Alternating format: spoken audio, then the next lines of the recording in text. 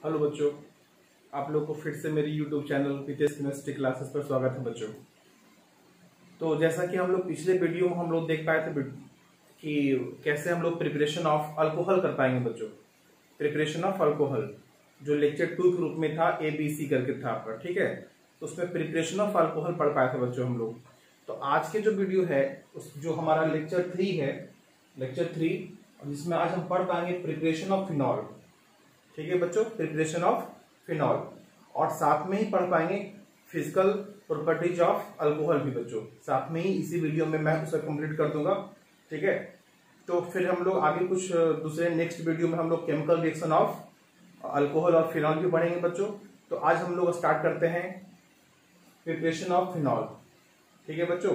तो ये हम पहले देख लो कि आप फिनॉल को डायरेक्टली कहाँ से बना सकते हैं? डायरेक्टली एक एक स्टेज में कहाँ से बना सकते हैं हम लोग? तो उसका हम कुछ यहाँ पर लिस्ट दिए हैं बच्चों, जो कि आप रिवीजन करते समय इसको ज़रूर एक बार देखेंगे, ताकि आपको ये तुरंत रिकॉल हो जाए कि क्या, कहाँ कहाँ से आप फिनॉल तुरंत बना सकते हैं, आप लोग एक स्टेप में। तो सबसे पहले है बच्चों from chlorobenzene from chlorobenzene chlorobenzene एक डॉस प्रोसेस था बच्चों। डॉस प्रोसेस में हम लोग देखे थे कि कैसे क्लोरोबेंजीन से फिनॉल बनेंगे, बनाएँगे हम लोग। ठीक है? फिर from benzene diazonium salt from benzene sulphonic acid from cumene from cumene से कैसे बना पाएँगे बच्चों? फ्रॉम एनिशॉल जो इथर है है ना? एनिशॉल का फॉर्मूला क्या हो गया बच्चों? बेंजीन पर क्या होगा? ओ सी एस थ्री जिसका नाम होता है मिथॉक्सी बेंजीन है ना? मिथॉक्सी बेंजीन इसी का नाम एनिशॉल है। उससे कैसे बना पाएँगे फिनॉल हम लोग? फ्रॉम फिनाइल मैग्नीशियम क्लोराइड जो कि गिग्नाइड एजेंट होता है, उससे भी हम लोग फिनॉल बना सकते हैं एक स्टेप में, है ना? और एक लास्ट है from the hydrolysis of ester तो ये सब कुछ इंपॉर्टेंट मेथड है जहाँ से आप डायरेक्टली आप फिनॉल बना सकते हैं बच्चों। तो हम बारी बारी सब सबके बारे में बात कर लिए स्टार्ट करें हम लोग। ठीक है बच्चों? तो पहले हम लोग स्टार्ट करेंगे फ्रॉम क्लोरोबेंजीन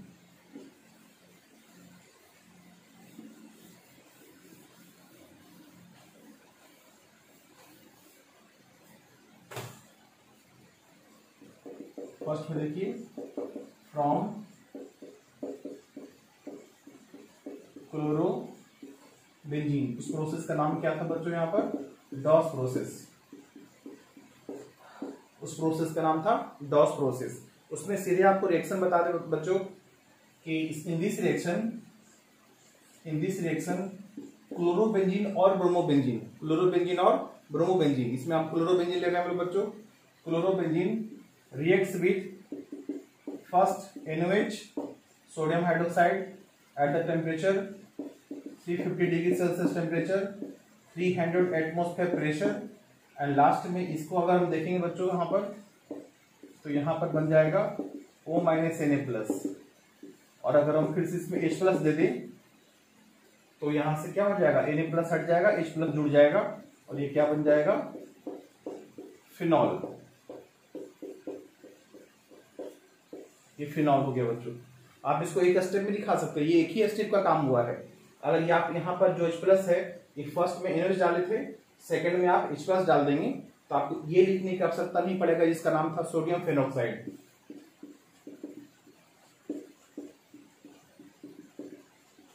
ये लिखने की आवश्यकता नहीं पड़ेगा, आप सीधे डायरेक्ट यहाँ पर जा सकते हैं बच्चों।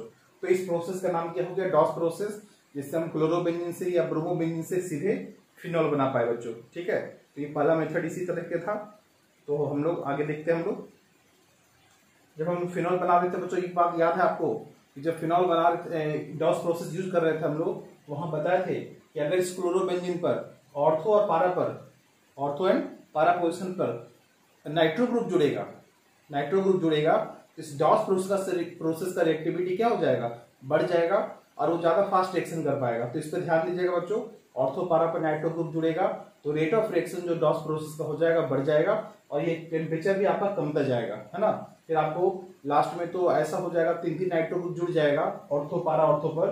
तो सिर्फ़ गर्म पानी डाल दीजिएगा हॉट वाटर तो ये आपका जो है फिनॉल बन जाएगा। तो ये सब बात किए थे पिछले क्लास से बच्चों तो हम एक बार उसको जरा रिविजन भी कर लेंगे आप लोग। अब हम लोग फिर सेकंड में हम लोग क्या देखने वाले हैं? From benzene diazonium salt.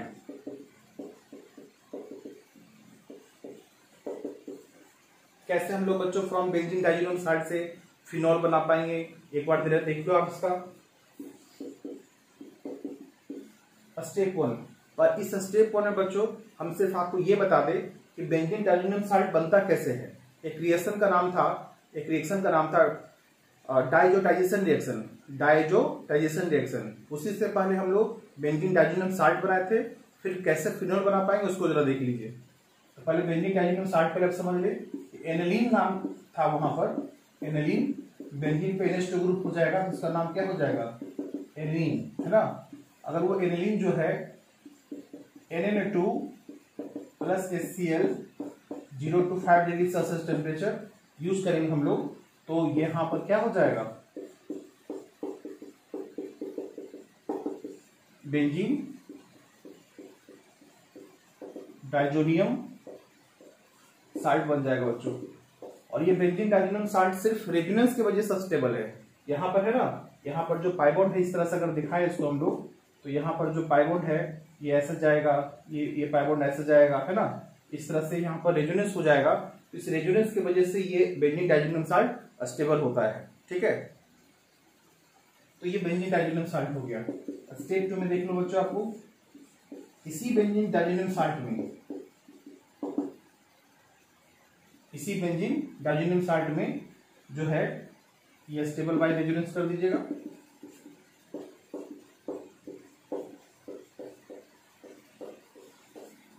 इसी बेंजीन डाइजोनियम साल्ट में हम लोग, अगर हम लोग सिर्फ़ वाटर डालें हम लोग heat hot water hot water करके। थोड़ा गर्म पानी करके इसमें डाल दें हॉट वाटर तो हॉट वाटर करने से क्या होगा कि इसमें एन टू प्लस हट जाएगा और ओ OH जुड़ जाएगा। और इससे क्या बन जाएगा? फिर फिनॉल बन जाएगा। ठीक है? एस टू हीट दे देंगे तो ये फिनॉल बन जाएगा बच्चों ये। ठीक है? तो दूसरा प्रोसेस हो गया फ्रॉम बेंजीन डाइजोनियम साइड से हम लोग कैसे बना पाए। इस ऊपर वाले का नाम है डाइजोटाइजेशन रिएक्शन जिससे एनेलिन से डाइजिनम साल्ट बन पाया बच्चों। और फिर हम लोग हॉट वाटर डाल दे इसमें तो फिनॉल बन जाएगा। ठीक है?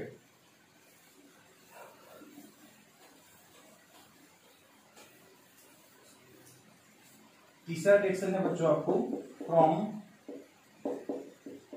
benzene sulphonic acid from benzene sulphonic acid benzene sulphonic acid से कैसे बना पाएँगे बच्चों?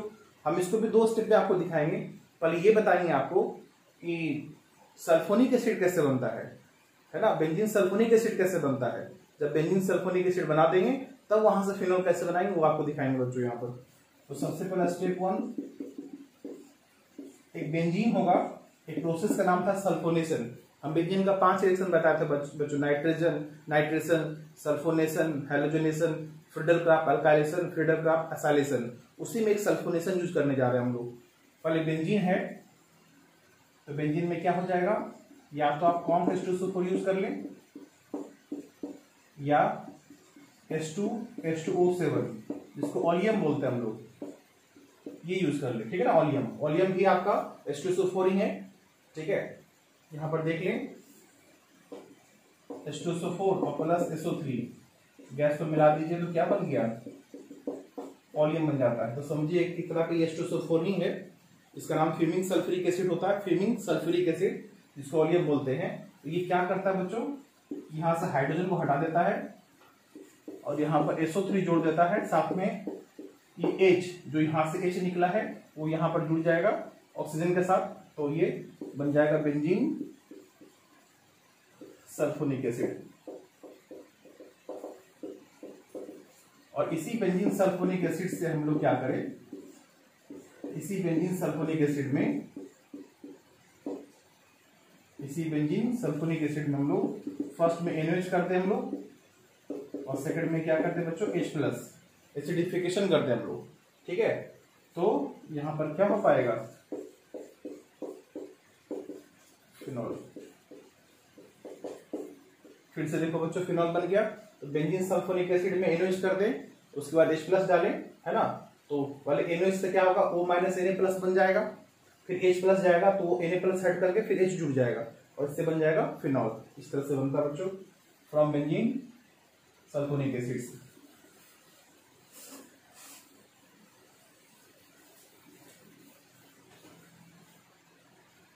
चौथा में देख लो आप लोग बच्चों from magnesium phenyl magnesium chloride.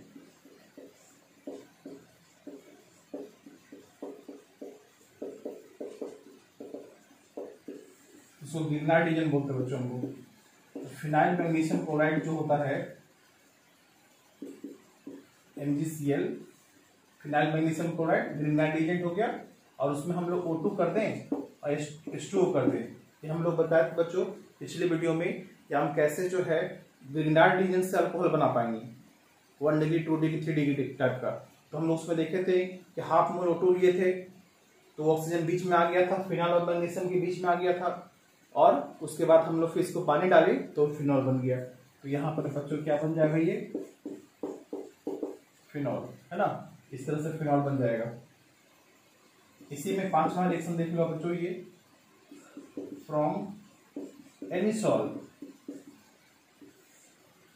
जो रिजेंट हो जाएगा बच्चों यहाँ पर जिससे काम होगा एच आई हीट होगा। एच आई हीट कैसे हो पाएगा? फिनॉल एनिसॉल का मतलब है बेंजीन पर ओ सी एस थ्री होना। जब एच आई से रिएक्शन होगा, एक मोल के साथ, एक मोल के साथ तो हम आपको बताते बच्चों, ये इथर है ना? ये इथर का रिएक्शन एच आई के साथ। जब हम इथर वाले चैप्टर पढ़ाएँगे तो हम बहुत सारे रूल बताएँगे कि कैसे एच आई जो है ना, एक इथर में रिएक्शन कर पाता है और क्या क्या प्रोडक्ट बना पाता है। तो बहुत सारा वहाँ पर कॉन्सेप्ट है, जो हम आपको बताएँगे वहाँ पर। इथर वाले कंडीशन में अल्कोहल जब खत्म हो जाएगा तो इथर ही स्टार्ट करेंगे। तो उसमें आपको बताएँगे। अभी आपको बता दें यहाँ पर कि जब एच आई यूज़ कर रहे हों तो ओ के नीचे एच रखिए और सी थ्री के नीचे आई रखिए और यहाँ से बॉन्ड ब्रेक कर दीजिए। क्योंकि बच्चों, ये बॉन्ड ब्रेक नहीं हो पाएगा, क्योंकि ऑक्सीजन का जो लोन पेयर है और जो फिनाल का पाइबॉन्ड है, उसके बीच में क्या होने लगेगा? रेजोनेंस इस रेजोनेंस की वजह से इस ये बॉन्ड टूट नहीं पाएगा तो सिर्फ़ यही बॉन्ड टूटेगा ओ के नीचे एच रख लिए सी एस के नीचे आई रख लिए, और यहाँ से बॉन्ड ब्रेक कर दिए। इसका जो न्यूक्लियो है बच्चों, वो आई माइनस है। ठीक है? यही आई माइनस इसके साथ जुड़ा है। तो क्या बन गया? बेंजीन पर ओ एच और plus C S three I देखिए इस तरह से फिनॉल फिर से बन गया। तो दो दो मेथड फिनाल मैग्नीशियम क्लोराइड से भी देख लिए और साथ में एनिसोल से भी देख लिए बच्चों हम लोग। ये कैसे फिनॉल बन पाएगा।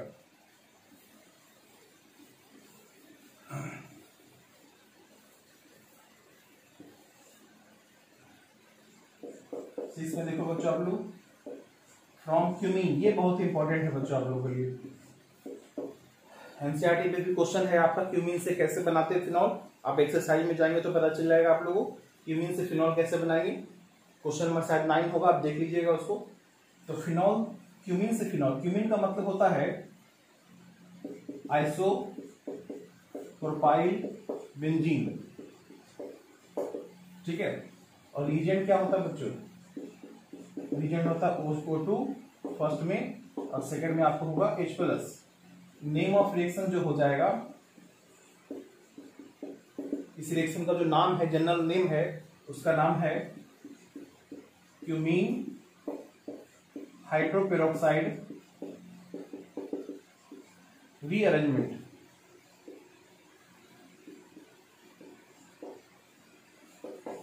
क्या हो गया बच्चों? क्यूमीन हाइड्रोपेरोक्साइड रीअरेंजमेंट होता है इसका नाम।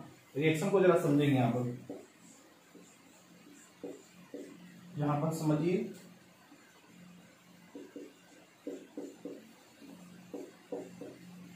ये देखो कि क्यूमीन हुआ आपका? आइसोप्रोपाइल बेंजीन इसी को बोलते हैं हम लोग क्यूमीन इसका नाम क्या हो गया? आइसोप्रोपाइल बेंजीन और ये आइसोप्रोपाइल बेंजीन में पहले क्या करेंगे बच्चों? हम O2 सिलेक्शन करवाएँगे। क्योंकि फ़र्स्ट रिएक्शन O2 से हुआ है। ये O2 क्या करेगा? कार्बन हाइड्रोजन के बीच में जाएगा और पेरोक्सी ऑक्सीजन बनाएगा पेरोक्साइड बनाएगा।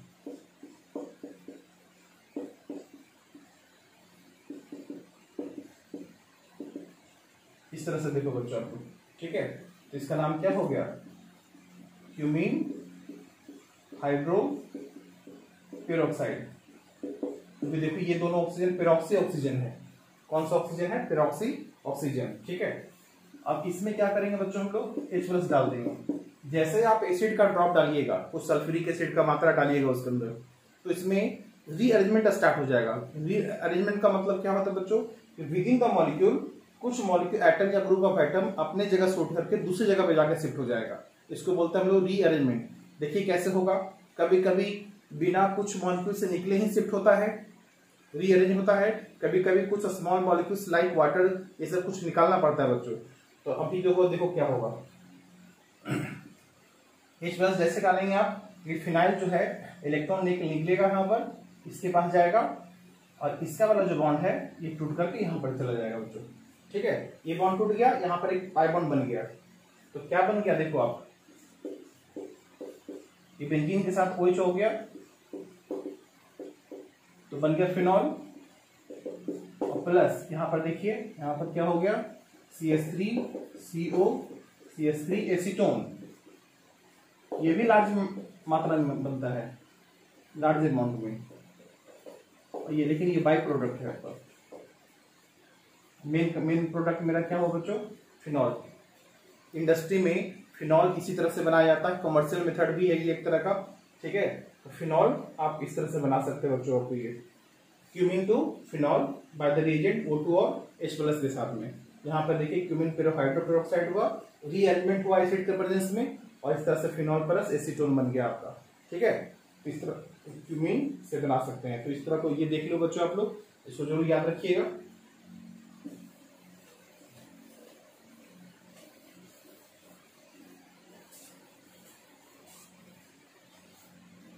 एक सेवन देख लो बच्चों आप लोग।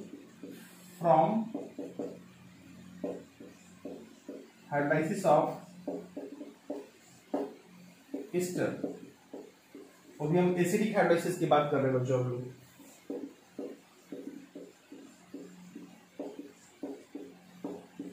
From acidic hydrolysis of ester ester में क्या है? कि अगर कोई आर है सी डबल बॉन्ड हो और यहाँ पर ऐसा करके स्टर हो। इसका नाम हो जाएगा फिनाइल एल्केनोएट फिनाइल एल्कोनेट इसमें हम लोग क्या करेंगे बच्चों? H2O के साथ रिएक्शन करवाएँगे H2O के साथ। किसके परसेंट में H प्लस के परसेंट में। H प्लस यहाँ पर एज ए कैटलिस्ट है, ये रिएक्शन रिवर्सिबल होता है एसिडिक हाइड्रोसिस तो रिवर्सिबल का साइन दे दिए। पानी जो होता है यहाँ पर बच्चों एक्सेस होता है। इसीलिए इस रिएक्शन का नाम जो होता है स्यूडो ये फॉलो जो करता है स्यूडो फ़र्स्ट ऑर्डर रिएक्शन ये सीरो फ़र्स्ट ऑर्डर रिएक्शन क्या है बच्चों? ये तो केमिकल काइंडिक्स में जाकर के आपको ज़्यादा समझ में आएगा, है ना? तो वहाँ पढ़ेंगे आप लोग सीडो फ़र्स्ट ऑर्डर रिएक्शन जहाँ पर स्टो क्या है? एक्सेस अमाउंट में।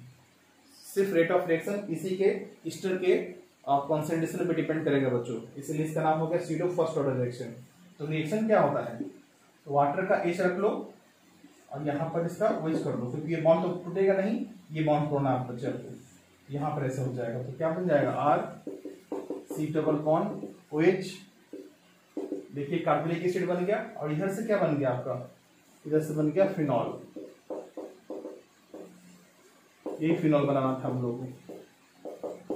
तो ये सब मेथड देख लिए बच्चों हम लोग, जिसमें हम लोग फिनॉल का प्रिपरेशन कर लिए। अब हम लोग इसी के साथ में अब हम लोग फ़िज़िकल प्रॉपर्टीज़ ऑफ़ अल्कोहल भी कर ले बच्चों वो भी इजी है, तुरंत समझ में आ जाएगा आपको। एक इस लेक्चर में भी दोनों हो जाएगा। तो देख लीजिए बच्चों आप लोग। इसको उतार लेंगे आप लोग। नोट्स बनाएँगे ज़रूर आप लोग।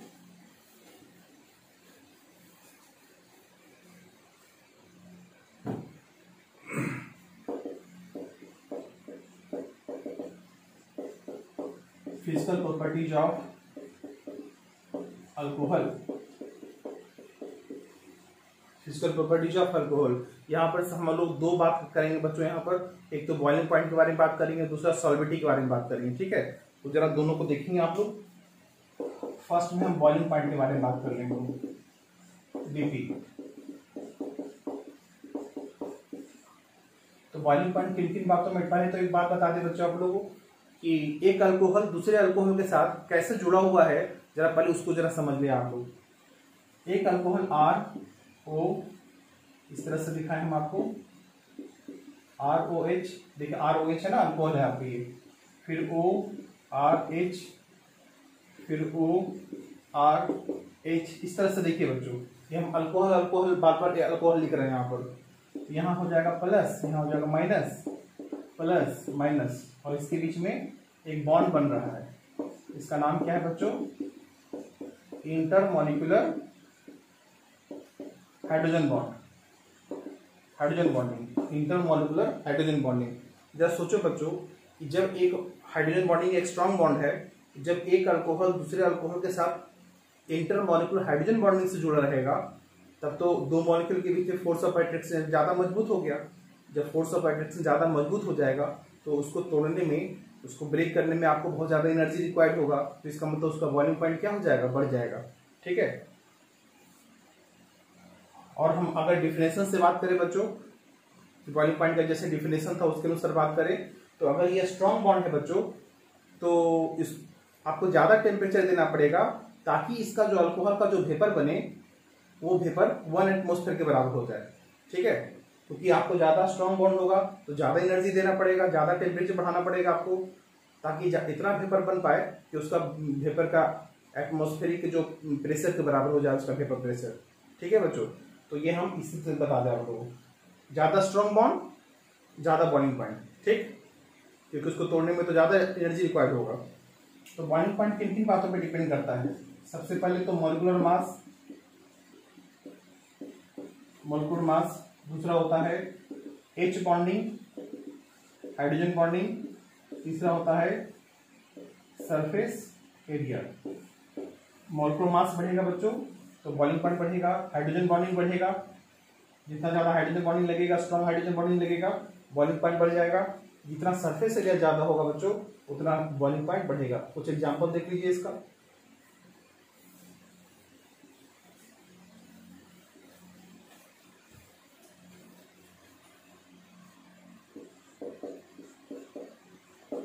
C S three O H C S three C S two O H C S three C S two C S two O H हम बार बारी से क्या कर रहे हैं बच्चों हम लोग? एक एक बार कार्बन की संख्या बढ़ाते चले जा रहे हैं हम लोग। है ना? इस तरह से हमारा। इसका जो बॉइलिंग पॉइंट होगा बच्चों, वो जाएगा D C B A D इसलिए ज़्यादा हो जाएगा क्योंकि जैसे जैसे कार्बन की संख्या बढ़ रहा है बच्चों तो हमारा मॉलिकुलर मास भी क्या हो रहा बढ़ रहा है, ठीक है ना? इसकी वजह से बॉइलिंग पॉइंट बढ़ेगा मॉलिकुलर मास बढ़ता है तो फोर्स ऑफ़ अट्रैक्शन भी ज़्यादा लगता है, ठीक है? और भी क्वेश्चन देखते हैं बच्चों हम लोग, जैसे C S three O H इसका नाम इथिलीन ग्लाइकोल बच्चों।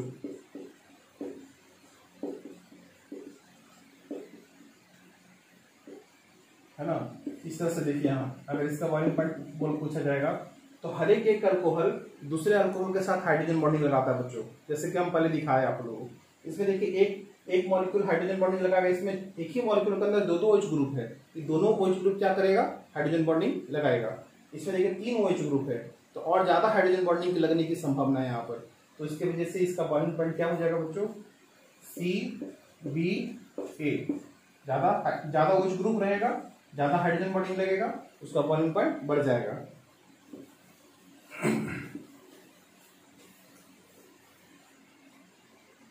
अगर हम एक यहाँ पर नोट करके बता दें, बच्चों, आप लोग को बॉइलिंग पॉइंट के बारे में ही कि four isomeric alcohol four isomeric alcohol जिसमें मॉलिक्यूल फॉर्मूला तो सेम हो, लेकिन स्ट्रक्चर अलग अलग हो बच्चों। तो आइसोमेरिक अल्कोहल में क्या होता है, कि जैसे जैसे ब्रांचिंग होता है तो branching of carbon in the parent chain अगर बढ़ता जाएगा ब्रांचिंग बढ़ता जाएगा तो बॉइलिंग पॉइंट घटता जाएगा बच्चों, क्योंकि सरफेस एरिया घटता जाएगा। बॉइलिंग पॉइंट डिक्रीज और increase branching of carbon in parent chain due to due to decrease surface surface area of alcohol क्योंकि सरफेस एरिया ज़्यादा हुआ तभी बॉइलिंग पॉइंट बढ़ेगा। सरफेस एरिया घट जाएगा तो बॉइलिंग पॉइंट भी क्या हो जाएगा बच्चों? घट जाएगा। जैसे देखो आप एग्ज़ाम्पल में C S three C S two चार कार्बन का हम लोग, चार कार्बन का पेरेंट चेन लिए। अब हम इसको तीन कार्बन का पेरेंट चेन कर लिए, है ना? तीन कार्बन का पेरेंट चेन तो हम ब्रांच किए इसमें थोड़ा, है ना? और अगर ब्रांचिंग किया जाए तो कुछ ऐसा ब्रांचिंग हो सकता है बच्चों, ठीक है? जो कि थ्री डिग्री अल्कोहल टाइप का हो गया। तो यहाँ पर क्या है, जैसे से ब्रांच कर रहे हैं, जो स्टेट में चलता था स्टेट में चलता था, वो उसका सेम स्फेरिकल होने लगा, है ना? जिसकी वजह से उसका सरफेस एरिया घट गया, अब बॉइलिंग पॉइंट भी क्या हो जाएगा? घट जाएगा। बॉइलिंग पॉइंट में ज़्यादा किसका हो जाएगा बच्चों? ए फिर बी फिर C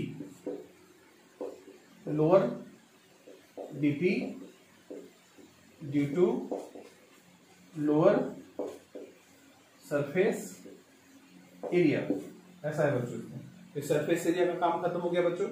और हम लोग बॉइलिंग पॉइंट पे देख लीजिए इसके अंदर कैसे कैसे चेंज होता है। तो कुछ अब सॉल्वेटी के बारे में बात कर लेते हैं। एक यहाँ पर इसको हम लोग इसको नोट वन कर ले बच्चों। तो हम एक नोट टू में और आपको कुछ बताना चाहेंगे। बॉइलिंग पॉइंट में ही जरा उसको भी जरा समझ लें आप लोग। ठीक है? वो छोटा सा काम समझ में आ जाएगा आप लोगों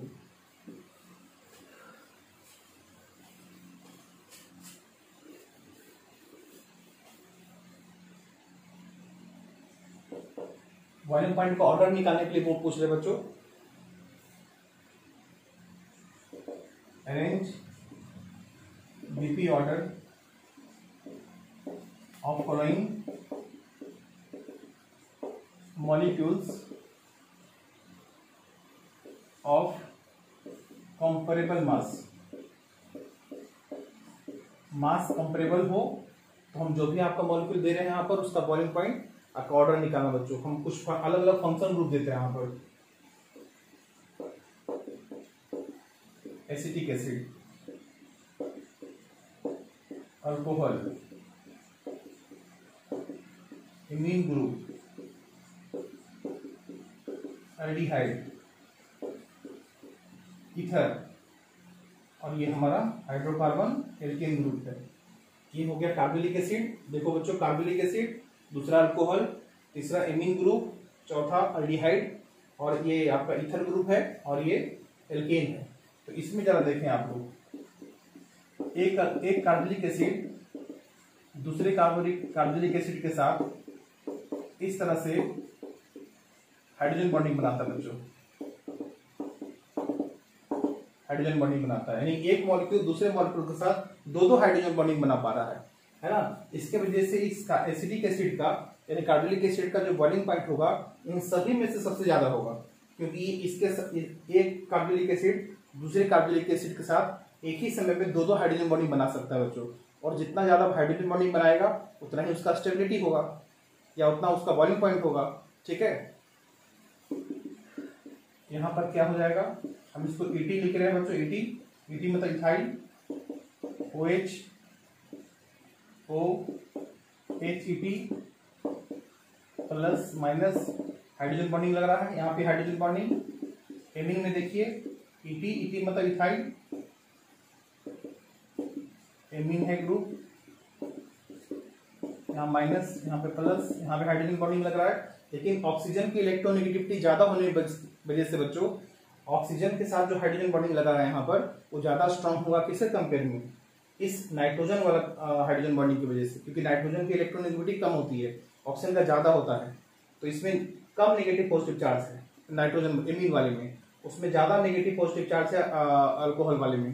तो वो ऊपर वाला ज़्यादा स्ट्रॉन्ग हाइड्रोजन बॉन्डिंग हो गया, नीचे वाला वीक हाइड्रोजन बॉन्डिंग हो गया। ठीक है? लेकिन चूँकि एक एक हाइड्रोजन बॉन्डिंग लगा पा रहा है, इसलिए बॉइलिंग पॉइंट एसिडिक एसिड से तो कम होगा। ठीक है? और यहाँ पर लगा आपको ये dipole dipole interaction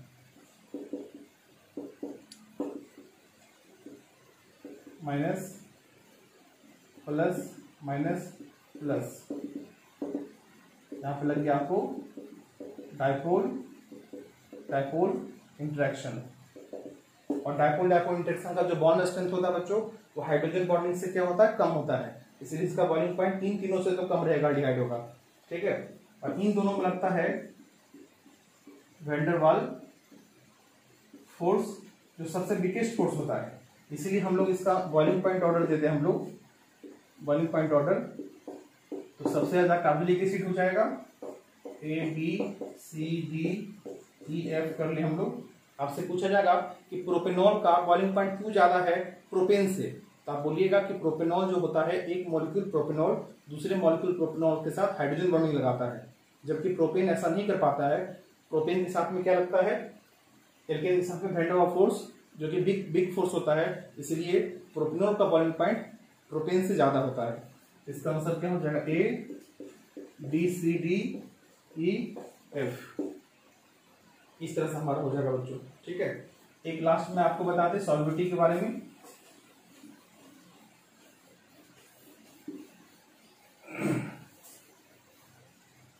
आप सॉलिबिलिटी में देख लीजिए। सॉलिबिलिटी ऑफ़ अल्कोहल तो आपको बता दें बच्चों आर ओ एच है। ये हमारा क्या है? हाइड्रोफोबिक है। और ये मेरा क्या है? हाइड्रोफिलिक है। हाइड्रोफिलिक वो होता है बच्चों जो पानी के साथ इंटरेक्ट कर पाता है। और हाइड्रोफोबिक जो होता है पानी को रिपेल करता है। पानी से दूर भागता है। पानी में जुड़ना नहीं चाहता है। क्योंकि देखिए, इसमें जो है, अगर वाटर यहाँ होता, यहाँ माइनस यहाँ प्लस होता, और इसमें क्या लगता है? हाइड्रोजन बॉन्डिंग ये ओ OH ग्रुप पानी के साथ हाइड्रोजन बॉन्डिंग से जुड़ जाएगा। इसलिए नाम पड़ गया हाइड्रोफिलिक और जो ये जो है ना वाटर के साथ इंटरेक्ट नहीं कर पाएगा और ये हो जाएगा हाइड्रोफोबिक अगर आर बढ़ेगा हाइड्रोफोबिक नेचर बढ़ेगा तो समझिए कि सॉल्विटी घटेगा। और ओएच बढ़ जाएगा अगर तो फिर सॉल्विटी बढ़ जाएगा। तो सॉल्विटी किन किन बातों पर डिपेंड करता है बच्चों? सॉल्विटी ऑफ़ अल्कोहल डिपेंड करेगा हाइड्रोजन बॉन्डिंग पर। और दूसरा होता है वन बाई सरफेस एरिया जितना कम सरफेस एरिया होगा, उतना ही ज़्यादा उसका सॉल्विटी होगा। ठीक है? तो यहाँ पर देखो बच्चों हम आपको बताएँ कि ये जो अल्काइल है, इसमें जैसे जैसे कार्बन की संख्या बढ़ेगा हाइड्रोकार्बन होता जाएगा, ज़्यादा कार्बन बढ़ेगा तो समझो हाइड्रोफोबिक नेचर बढ़ेगा और उसका सॉल्विटी क्या होता है घटते जाएगा। जैसे C S three O H C S three C S two O H O H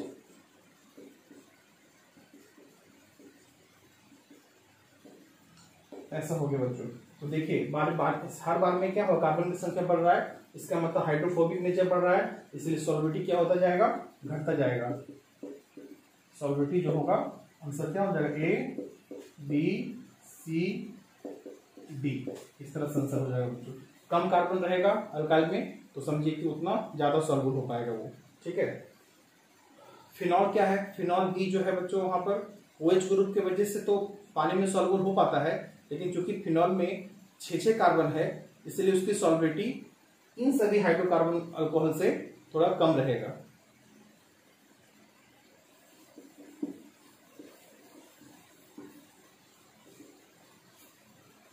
अगर हम आइसोमेरिक अल्कोहल के बारे में बात करें तो C S three C S two C S two C S two O H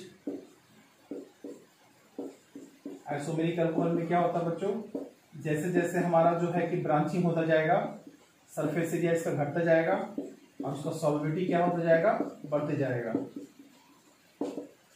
इसका जो सॉलिबिलिटी हो जाएगा बच्चों, इसका सरफेस एरिया कम है, इसका surface area lower surface area है